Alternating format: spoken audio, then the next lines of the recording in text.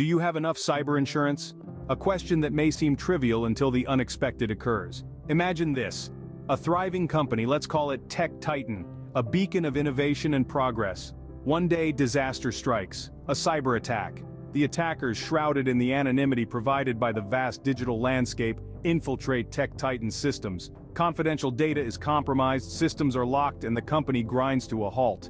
Tech Titan faces not only the loss of trust from their clients, but also the looming threat of legal repercussions. The costs are astronomical. The future of Tech Titan hangs in the balance. But wait, there's a twist in the tale. Tech Titan, understanding the intricate web of risks in the digital age, had a safety net in place, cyber insurance. They had foreseen the potential for such a disaster, and had taken the necessary steps to safeguard their operations.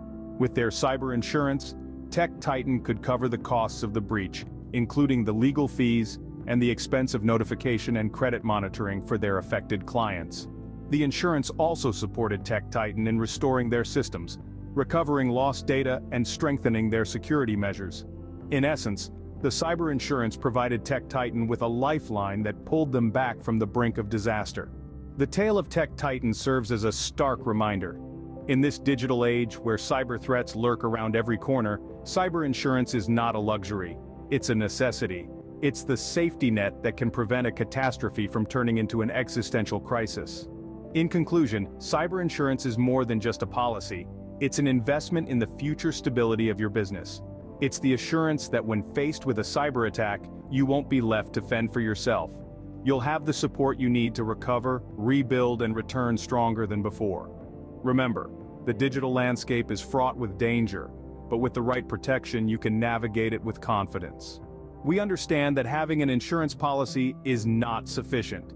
The policy will only pay out if you can demonstrate that you have proper standard operating procedures and training in place. Do not wait until a fire breaks out to look for the instructions on how to operate a fire extinguisher. And let's be clear, it's not a matter of if an attack will occur, but rather how ready you are to face it.